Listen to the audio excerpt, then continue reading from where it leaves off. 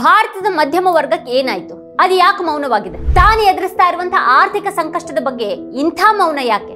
ಮಧ್ಯಮ ವರ್ಗದ ಯುವಕರು ಪಾಪಾ ಕೇತೆ ಹೇ ಬಡಾ ನಾಮ್ ಕರೇಗಾ, ಬೇಟಾ ಹಮಾರ ಬಡಾ ಕಾಮ್ ಕರೇಗಾಗಿಂತ ದೇಶಕ್ಕೆ ಗದ್ದಾರೋಂಕು ಗೋಲಿ ಮಾರೋ ಸಾಲೋಂಕು ಅನ್ನೋದ್ರಲ್ಲೇ ಹೆಚ್ಚು ಆಸಕ್ತಿಯನ್ನು ಹೊಂದಿದ್ದಾರೆ. ಭಾರತದ ಸ್ಫೂರ್ತಿದಾಯಕ ಮತ್ತು ಮಹತ್ವಾಕಾಂಕ್ಷೆಯ ಮಧ್ಯಮ ವರ್ಗಕ್ಕೆ ಏನಾಯ್ತು? ಅದು ಯಾಕೆ ಇಷ್ಟೊಂದು ಕೋಮುವಾದಿಯಾಗಿದೆ? ಜೇಬುಗಳು ಖಾಲಿ ಆಗ್ತಾ ಇರುವಾಗಲೂ ಭಾರತದ ಮಧ್ಯಮ ವರ್ಗದ ತಲೆ ತುಂಬ ಯಾಕೆ ಇಷ್ಟು ದ್ವೇಷ ಇದೆ ಡ್ರಗ್ಸ್ ಸೈಬರ್ ವಂಚನೆ ಹಣದುಬ್ಬರದಂತಹ ಸಮಸ್ಯೆಗಳು ಈ ದೇಶದ ಮಧ್ಯಮ ವರ್ಗವನ್ನ ಕಾಡ್ತಾ ಇಲ್ವಾ ಪ್ರಧಾನಿ ಮೋದಿ ಭಾರತದ ಮಧ್ಯಮ ವರ್ಗದವರಿಗೆ ವಿಷ ಉಣಿಸ್ತಾ ಇರೋದು ಯಾಕೆ ಇದು ಅವರು ಐದು ಟ್ರಿಲಿಯನ್ ಆರ್ಥಿಕತೆಯನ್ನ ಸಾಧಿಸುವಂತ ರೀತಿನ फाइव ट्रिलियन डॉलर इकोनॉमी इसका सपना संजोया है 130 करोड़ देशवासी अगर छोटी छोटी चीजों को लेकर चल पड़े फाइव ट्रिलियन डॉलर इकोनॉमी कईयों को मुश्किल लगता है वो गलत नहीं हो सकते लेकिन अगर मुश्किल काम नहीं करेंगे तो देश आगे कैसे बढ़ेगा ಈ ಚಳಿಗಾಲದಲ್ಲಿನ ದೆಹಲಿಯ ತಾಪಮಾನಕ್ಕಿಂತ ತೀವ್ರವಾಗಿ ಪ್ರಧಾನಿ ಮೋದಿ ಅವರ ಭಾಷೆಯ ಮಟ್ಟ ಯಾಕೆ ತೀವ್ರವಾಗಿ ಕುಸಿತಾ ಇದೆ ಕೈಯಲ್ಲಿ ಖರ್ಚಿಗೆ ಕಾಸಿಲ್ಲದಿದ್ರು ತಲೆಯಲ್ಲಿ ಸುಳ್ಳು ಹಾಗೂ ಮನಸ್ಸಿನಲ್ಲಿ ದ್ವೇಷ ತುಂಬಿಕೊಂಡಿರುವಂತಹ ಭಾರತದ ಮಧ್ಯಮ ವರ್ಗದವರ ಅಧೋಗತಿಯ ಬಗ್ಗೆ ಇವತ್ತಿನ ವಿಡಿಯೋದಲ್ಲಿ ನಾವು ಚರ್ಚೆ ಮಾಡೋಣ.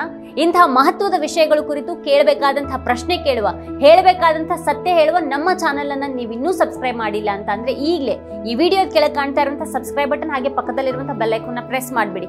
ಈ ವಿಡಿಯೋವನ್ನ ಕೊನೆವರೆಗೂ ನೋಡಿ, ಈ ದೇಶದ ಮಧ್ಯಮ ವರ್ಗ ಅದು ಎಂಥ ಕಷ್ಟದಲ್ಲಿ ದಿನ ದೂಡ್ತಾ ಇದೆ ಅನ್ನೋದ್ರ ಬಗ್ಗೆ ನಿಮಗೇನು ಅಭಿಪ್ರಾಯ ಇದೆ? ಅದನ್ನ ಕೆಳಗಡೆ ಕಮೆಂಟ್ ಮಾಡಿ, ವಿಡಿಯೋದ ಲಿಂಕ್ ಅನ್ನ ನಿಮ್ಮೆಲ್ಲ ಬಂಧು ಮಿತ್ರರಿಗೆ ವಾಟ್ಸ್ಆಪ್ ಮಾಡಿ, ಹಾಗೆ ಎಲ್ರಿಗೂ ಸತ್ಯ ತಲುಪಿಸಿ. ಮಧ್ಯಮ ವರ್ಗ ಕುಗ್ಗುತ್ತಾ ಇದೆ. ವ್ಯಾಪಾರ ಮತ್ತು ಅರ್ಥಶಾಸ್ತ್ರ ಪರಿಣಿತರಲ್ಲಿ ಹಲವರು ಬಹಳ ಸಮಯದಿಂದಲೂ ಇದನ್ನ ಹೇಳ್ತಾನೆ ಬಂದಿದ್ದಾರೆ.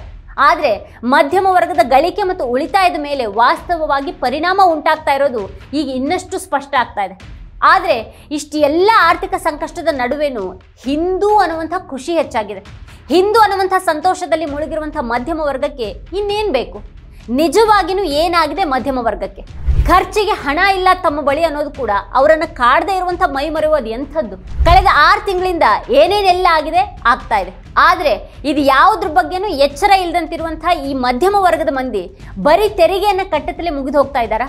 ಗಳಿಸಿದ್ರು ತೆರಿಗೆ, ಉಳಿಸಿದ್ರು ತೆರಿಗೆ, ಖರ್ಚು ಮಾಡಿದ್ರು ತೆರಿಗೆ, ಔಷಧದ ಮೇಲೂ ತೆರಿಗೆ. ಕಡೆಗೆ ಆಪತ್ತಿಗಿರಲಿ ಅಂತ ಅಂದ್ಕೊಂಡಂತ ಈ ಆರೋಗ್ಯ ವಿಮೆ, ಜೀವ ವಿಮೆ ಮೇಲೂ ಕೂಡ ತೆರಿಗೆ. ದೇಶದ ಅರ್ಧದಷ್ಟು ಜನಸಂಖ್ಯೆ ಮೂರು ಹೊತ್ತಿನ ತುತ್ತು ಸಂಪಾದಿಸ್ತಾ ಇರೋದು ಅತಿ ಕಷ್ಟದ ಸ್ಥಿತಿಯಲ್ಲಿ. ಎಂಬತ್ತು ಕೋಟಿ ಜನರಿಗೆ ಉಚಿತ ಪಡಿತರ ಕೊಡ್ತಾ ಇದೆ ಸರ್ಕಾರ. ಅವರಲ್ಲಿಯೂ ಕೂಡ ಇದ್ದಾರಲ್ವ ಈ ಮಧ್ಯಮ ವರ್ಗದವರು? ಇನ್ನೊಂದು ಕಡೆಗೆ ರೂಪಾಯಿ ಮೌಲ್ಯ ಇನ್ನಿಲ್ಲದಂತೆ ಕುಸಿದು ಹೋಗ್ತಾ ಇದೆ. ಒಂದು ಡಾಲರ್ಗೆ ಎಂಬತ್ನಾಲ್ಕು ಪಾಯಿಂಟ್ ಒಂದು ಒಂದಾಗಿದೆ ಆದರೆ ಮಧ್ಯಮ ವರ್ಗ ಇದು ಯಾವುದ್ರ ಬಗ್ಗೆನೂ ಮಾತಾಡದೆ ಬಾಯಿ ಹೊಲಿದ್ಕೊಂಡು ಕೂತಿರೋದು ಯಾಕೆ?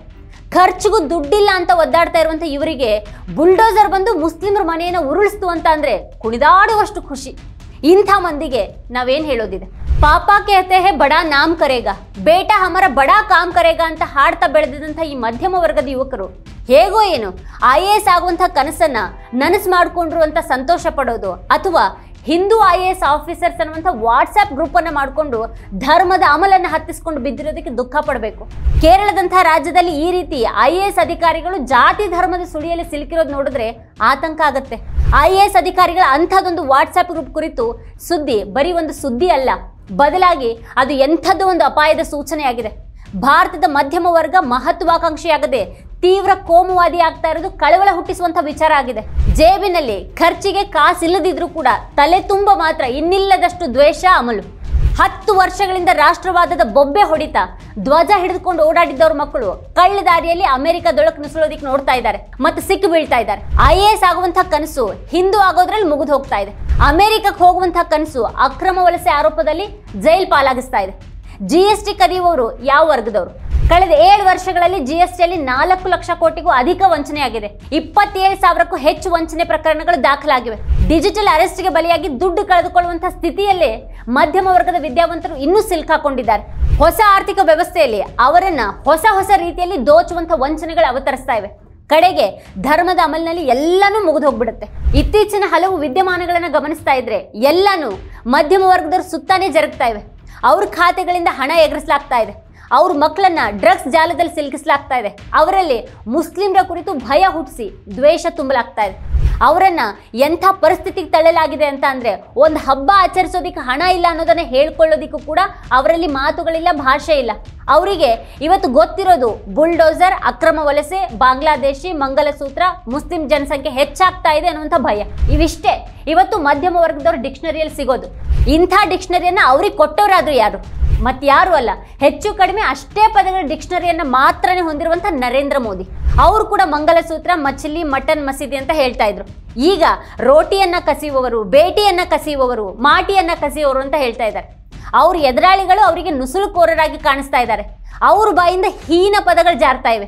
ಜಾರ್ಖಂಡ್ನಲ್ಲಿ ಮೊದಲ ಚುನಾವಣಾ ರ್ಯಾಲಿ ನಡೆಸಿದಂಥ ಮೋದಿ ಜೆಎಂಎಂ ನೇತೃತ್ವದ ಮೈತ್ರಿಕೂಟವನ್ನು ನುಸುಳುಕೋರರ ಬಂಧ ಅಂತ ಟೀಕೆ ಮಾಡಿದ್ದಾರೆ. ಮಾಫಿಯಾದ ಗುಲಾಮ ಅಂತ ಜರೆದಿದ್ದಾರೆ. ರೋಟಿಯನ್ನು ಬೇಟಿಯನ್ನು ಮಾಟಿ ಅಂದ್ರೆ ತಾಯಿ ನೆಲವನ್ನು ರಕ್ಷಣೆ ಮಾಡೋದಕ್ಕಾಗಿ ಅವ್ರು ಹೋರಾಡ್ತಾ ಇದ್ದಾರಂತೆ ಪ್ರಧಾನಿಯ ಭಾಷಣ ಮುಖ್ಯಮಂತ್ರಿಯೊಬ್ಬರು ಅನುಸರಿಸೋ ಹಾಗಿರ್ಬೇಕಾಗಿತ್ತು ಆದ್ರೆ ಇಲ್ಲಿ ಪ್ರಧಾನಿನೇ ಮುಖ್ಯಮಂತ್ರಿಯ ಭಾಷಣವನ್ನ ನಕಲ್ ಮಾಡಿದ್ದಾರೆ ಹೇಮಂತ್ ಬಿಸ್ವ ಶರ್ಮಾ ಹೇಳಿದ್ದನ್ನು ಒಂದು ತುಸು ಆಚೆ ಈಚೆ ಮಾಡಿ ಮೋದಿ ಅವರು ಮಾತಾಡಿದ್ದು ಕೇಳಿ ಮಧ್ಯಮ ವರ್ಗದವ್ರ ಹೊಟ್ಟೆ ತುಂಬಿರಬಹುದು ये आपकी रोटी भी छीन रहे हैं ये आपकी बेटी भी छीन रहे हैं और ये आपकी माटी को भी हड़प कर रहे हैं। अगर जेएमएम कांग्रेस आरजेडी की यही कुनीति जारी रही तो झारखंड में आदिवासी समाज का दायरा सिकुड़ जाएगा। ये आदिवासी समाज और देश की सुरक्षा दोनों के लिए बड़ा खतरा है।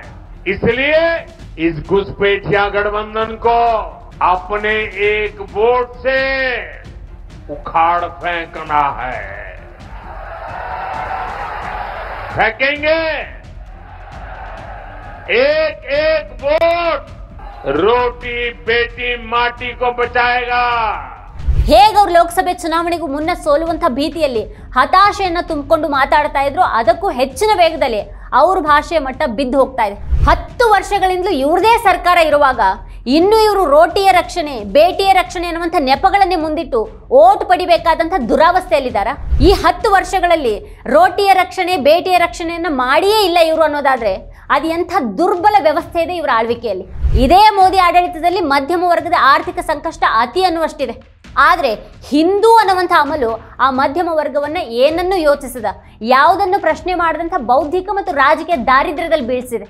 ಇತ್ತೀಚಿನ ವರ್ಷಗಳಲ್ಲಿ ತೆರಿಗೆ ಪಾವತಿಸುವವರ ಸಂಖ್ಯೆ ಕುಸಿದಿದೆ ಅನ್ನೋದು ಗೊತ್ತಾಗುತ್ತೆ. ಆ ರೀತಿ ತೆರಿಗೆ ಕಟ್ಟುವವರ ಸಂಖ್ಯೆ ಕುಸಿದಿದೆ ಅಂತಂದ್ರೆ ಏನರ್ಥ? ಏನು ಅಲ್ಪ ಸ್ವಲ್ಪ ಗಳಿಸ್ತಾ ಇದ್ದವ್ರ ಬದುಕು ಕೂಡ ಹಳಿ ತಪ್ಪಿದೆ ಅನ್ನೋದನ್ನೇ ಅದು ಸೂಚಿಸ್ತಾ ಇದೆ. ಮಧ್ಯಮ ವರ್ಗದವರ ಅವಸ್ಥೆ ಜಿ ಎಸ್ ಟಿ ಕದಿಯೋ ಮಟ್ಟಿಗೆ ಅಥವಾ ಡಿಜಿಟಲ್ ಅರೆಸ್ಟ್ಗೆ ಬಲಿಯಾಗಿ ಇದ್ದುದನ್ನು ಕೂಡ ಕಳೆದುಕೊಳ್ಳುವಂತ ಮಟ್ಟಿಗೆ ಬಂದು ಮುಟ್ಟಿದೆ. ಕಳೆದ ಐದು ವರ್ಷಗಳಲ್ಲಿ ಮಧ್ಯಮ ವರ್ಗದವರನ್ನ ಆರ್ಥಿಕ ಸಂಕಷ್ಟ ಹಿಂಡಿ ಹಿಪ್ಪೆ ಮಾಡಿದೆ. ಮಧ್ಯಮ ವರ್ಗದ ಜನಸಂಖ್ಯೆಯಲ್ಲೂ ಕೂಡ ಕುಸಿತ ಆಗಿದೆ. ಲಕ್ಷಕ್ಕಿಂತ ಕಡಿಮೆ ಆದಾಯ ಇರುವಂತಹ ನಾಲ್ವರ ಕುಟುಂಬವೊಂದು ಇರೋದ್ರಲ್ಲಿ ನಿರಾಳವಾಗಿ ಬದುಕೋದಿಕ್ ಸಾಧ್ಯನಾ ಅಂತ ಅಂದ್ರೆ ಖಂಡಿತ ಸಾಧ್ಯ ಇಲ್ಲ ಅನ್ನೋದು ಉತ್ತರ. ಹಾಗಾಗಿ ತುಸುವಾದ್ರೂ ಉತ್ತಮ ಬದುಕನ್ನು ನೋಡಬೇಕು ಅಂತ ಅಂದರೆ ತೆರಿಗೆ ರಿಯಾಯಿತಿ ಮಟ್ಟಕ್ಕಿಂತ ಹೆಚ್ಚಿನ ಆದಾಯ ಬೇಕು. ಈ ರೀತಿ ಮಧ್ಯಮ ವರ್ಗದವರ ಪಾಲಿಗೆ ಇವತ್ತು ಬದುಕು ಕೈಗೆಟುಕದಂಥ ಸ್ಥಿತಿ ಇದೆ. ಆದರೆ ಎರಡು ಲಕ್ಷಕ್ಕಿಂತ ಹೆಚ್ಚು ಆದಾಯ ಇದ್ರೆ ಅದು ಮಧ್ಯಮ ವರ್ಗ ಆಗೋದಿಲ್ಲ. ಬದಲಾಗಿ ಶ್ರೀಮಂತ ವರ್ಗ ಆಗುತ್ತೆ. ಒಂದು ಪಾಯಿಂಟ್ ಆರು ಕೋಟಿ ಇದ್ದಂಥ ಮಧ್ಯಮ ವರ್ಗದ ಜನಸಂಖ್ಯೆ ಎರಡು ಸಾವಿರದ ಇಪ್ಪತ್ತೆರಡು ಇಪ್ಪತ್ತ್ ಮೂರರಲ್ಲಿ ಒಂದು ಪಾಯಿಂಟ್ ಒಂದು ಕೋಟಿ ಕುಸಿದಿದೆ. ಅಂದರೆ ಐವತ್ತು ಲಕ್ಷ ಮಂದಿ ಶ್ರೀಮಂತ ವರ್ಗವನ್ನು ಸೇರಿದ್ದಾರೆ. ಬಡವರಲ್ಲಿ ಮಧ್ಯಮ ವರ್ಗದವರಲ್ಲಿ ಹತ್ತು ಲಕ್ಷ ಮಂದಿ ಮಾತ್ರನೇ ಶ್ರೀಮಂತ ವರ್ಗದ ಸ್ಥಿತಿ ತಲುಪಿದ್ರೆ ನಲವತ್ತು ಲಕ್ಷ ಮಂದಿ ಕೆಳಕ್ಕೆ ಕುಸಿದಿದ್ದಾರೆ. ಬೆಲೆ ಏರಿಕೆ ನಿಲ್ತಾನೆ ಇಲ್ಲ, ಆದಾಯ ಹೆಚ್ಚುತ್ತಾ ಇಲ್ಲ, ಆದ್ರೆ ಖರ್ಚು ಮಾತ್ರ ಹೆಚ್ಚೋದು ನಿಂತಿಲ್ಲ. ಮಾರುಕಟ್ಟೆಯಲ್ಲಿ ಏನನ್ನು ಕೊಳ್ಳೋರೇ ಇಲ್ಲ, ಯಾಕಂದ್ರೆ ಜನರ ಕೈಯಲ್ಲಿ ಹಣ ಇಲ್ಲ. ಹತ್ತಾರು ಉದ್ಯೋಗಿಗಳಿಗೆ ಸಾವಿರಾರು ಜನ ದುಂಬಾಲ್ ಬೀಳುವಂತಹ ಶೋಚನೀಯ ಸ್ಥಿತಿ ಇದೆ. ನಮ್ಮ ಶಾಲಾ ಕಾಲೇಜುಗಳ ಪರಿಸ್ಥಿತಿ ಅಂತೂ ಚಿಂತಾಜನಕ ಆಗ್ಬಿಟ್ಟಿದೆ. ನಮ್ಮ ಉನ್ನತ ಶಿಕ್ಷಣ ಸಂಸ್ಥೆಗಳು ರಾಜಕೀಯ ಅಡ್ಡೆಗಳಾಗಿವೆ. ಅಲ್ಲಿಗ ಗುಣಮಟ್ಟದ ಶಿಕ್ಷಣ ಅನ್ನೋದು ಮರೀಚಿಕೆಯಾಗಿದೆ. ಲಕ್ಷಗಟ್ಟಲೆ ಫೀಸ್ ಪಡೆಯಲಾಗುತ್ತೆ. ಆದರೆ ಅದಕ್ಕೆ ತಕ್ಕ ಹಾಗೆ ಶಿಕ್ಷಕರು ಇಲ್ಲ, ಶಿಕ್ಷಣನೂ ಇಲ್ಲ. ಅಲ್ಲಿ ಕಲಿತು ಒಳ್ಳೆಯ ಉದ್ಯೋಗ ಗಿಟ್ಟಿಸೋದು ಕೂಡ ಕನಸಾಗಿನೇ ಉಳಿತಾ ಇದೆ. ತಂದೆ ತಾಯಿ ಮಾತ್ರ ಅಲ್ಲ, ಮಕ್ಕಳು ಕೂಡ ಈ ಸಾಲದ ಶೂಲಕ್ಕೆ ಸಿಲುಕ್ತಾ ಇದ್ದಾರೆ. ಸ್ಪರ್ಧಾತ್ಮಕ ಪರೀಕ್ಷೆಗಳನ್ನೋದು ದುಸ್ವಪ್ನವಾಗಿ ಕಾಡ್ತಾ ಇದೆ. ಸೋರಿಕೆಯಾಗದ ಅಥವಾ ಅಕ್ರಮ ನಡೆಯದ ಸ್ಪರ್ಧಾತ್ಮಕ ಪರೀಕ್ಷೆ ಯಾವುದಿದೆ ಅಂತ ಅಂದರೆ ಅದಕ್ಕೆ ಉತ್ತರನೇ ಇಲ್ಲ. ಲಕ್ಷಗಟ್ಟಲೆ ಜನ ಬರೆಯುವಂಥ ಪರೀಕ್ಷೆ ಮತ್ತೆ ಮತ್ತೆ ರದ್ದಾಗತ್ತೆ. ಆದರೆ ಮಧ್ಯಮ ವರ್ಗದವ್ರ ಪಾಲಿಗೆ ಹಿಂದೂ ಅನ್ನುವಂಥ ಸುಖ ಇದೆ. ಆದರೆ ಅಮಲಿನಲ್ಲಿ ಇದ್ದವರಿಗೆ ಕೈಯಲ್ಲಿ ಖರ್ಚಿಗೆ ಹಣ ಇಲ್ಲ ಅನ್ನೋದೇ ಅವರಿಗೆ ಅರಿವಿಲ್ಲ. ಎಂಥ ನಿರಾಳತೆ ಅಲ್ವಾ ಇದು? ಇದೇ ಈ ಹೊತ್ತಿನ ಸ್ಪೆಷಲ್ ನೋಡ್ತಾ ಇರಿ ವಾರ್ತಾಭಾರತಿ ನೀವಿನ್ನು ವಾರ್ತಾಭಾರತಿ ಯೂಟ್ಯೂಬ್ ಚಾನಲನ್ನು ಸಬ್ಸ್ಕ್ರೈಬ್ ಮಾಡಿಲ್ಲ ಅಂತಂದರೆ ಈ ಕೂಡಲೇ ಸಬ್ಸ್ಕ್ರೈಬ್ ಮಾಡಿ ಹಾಗೆಲ್ಲೇ ಪಕ್ಕದಲ್ಲಿರುವಂಥ ಬೆಲ್ ಐಕನ್ನ ಪ್ರೆಸ್ ಮಾಡಿ, ನಮ್ಮನ್ನು ಬೆಂಬಲಿಸಿ.